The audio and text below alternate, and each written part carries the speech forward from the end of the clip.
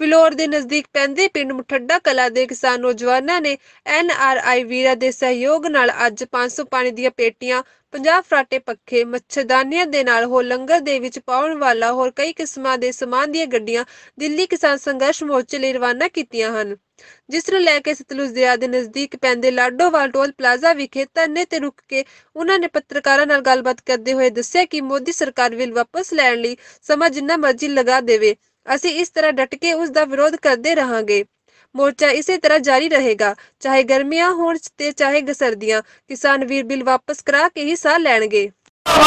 ਮੋਦੀ ਸਰਕਾਰ! ਮੁਰਦਾਬਾਦ ਕਾਲੇ ਕਾਨੂੰਨ! ਬੰਦ ਕਰੋ ਮਜ਼ਦੂਰ ਏਕਤਾ ਕਾਲੇ ਦੇ ਕਾਨੂੰਨ! ਰੱਦ ਕਰੋ ਕਿਸਾਨ ਮਜ਼ਦੂਰ ਏਕਤਾ ਕਿਸਾਨ ਮਜ਼ਦੂਰ ਏਕਤਾ ਜਿੰਦਾਬਾਦ! ਜਿੰਦਾਬਾਦ! ਜਿੰਦਾਬਾਦ। ਕੋਈ ਹੈ ਅਫਸਰ ਕੋਈ ਹੈ। ਤੇਰੇ ਕੋਲ ਐਕਚੁਅਲ ਚ ਮੋਦੀ ਸਾਹਿਬ ਸੱਚਾਈ ਤਾਂ ਇਹ ਹੈ ਕਿ ਦੇਸ਼ ਨੂੰ ਅੱਜ ਸਾਰੀ ਆਪੋਜੀਸ਼ਨ ਪਾਰਟੀ ਇਹ ਰੋਲਾ ਪਾ ਰਹੀ ਹੈ ਕਿ ਦੇਸ਼ ਨੂੰ ਵੇਚਤਾ ਦੇਸ਼ ਨੂੰ ਵੇਚਦਾ। ਵੇਚਿਆ ਕਿਉਂ? ਤੈਨੂੰ ਮੈਂ ਦੱਸਦਾ ਮੋਦੀ ਸਾਹਿਬ ਤੂੰ ਕਿਉਂ ਵੇਚਿਆ? ਕਿਉਂਕਿ ਤੇਰੇ ਕੋਲ ਕੰਟਰੋਲ ਹੀ ਨਹੀਂ ਹੋ ਪਾ ਰਿਹਾ?